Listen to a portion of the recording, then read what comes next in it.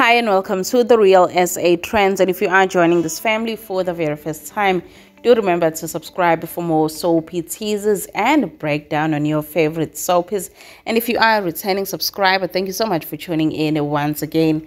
Here's Skeem Saam teasers from the 26th until the 30th of July.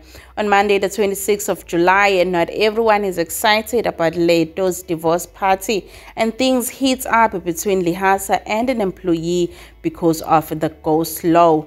The idea of returning home does not resonate with Mantuli, even with Sfiso's attempt to ease her pain. On Tuesday, the 27th of July, Mantuli finds herself displaced in her new environment.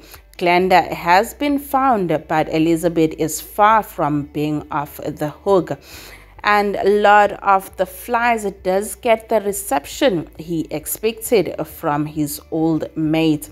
On Wednesday, the 28th of July, Sfiso worries as tension rise between his wife and Mantuli, and Lehasa has a rebellious staff on his hand and it's now getting in the way of a divorce party.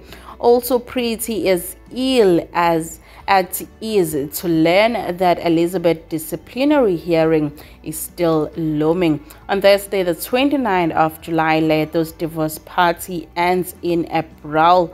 Will Glenda testify at Dr. Tebogal's disciplinary hearing?